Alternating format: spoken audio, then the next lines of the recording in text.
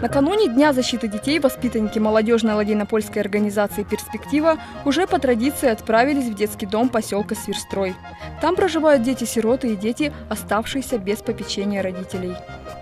Здание детского дома расположено на окраине поселка. По сути, дети находятся в изолированном от общества состоянии. И им просто необходимо культурное развитие и общение с другими детьми.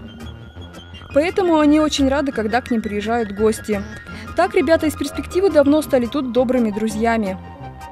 Каждый год, накануне Дня защиты детей, мы с вами путешествуем. То мы путешествуем дорогами добра, то мы путешествуем в страну детства. Сегодня мы с вами будем путешествовать в страну вежливости. Меня зовут Пеппи Длинный Чулок. Да откуда же нам знать, если вы так сегодня никому не представились? А вот воспитанные люди так не делают, между прочим.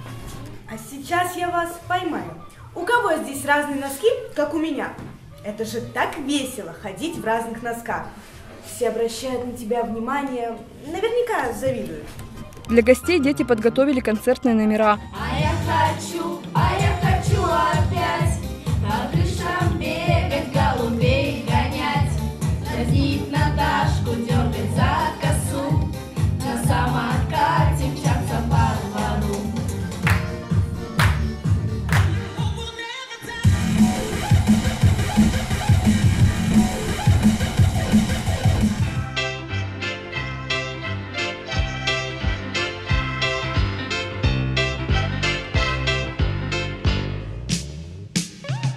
Жил да был продобрей На земле не найти добрей Была проведена развлекательная игровая программа, а также, тоже по традиции, ребята смогли запустить в небо воздушные шары со своими заветными желаниями.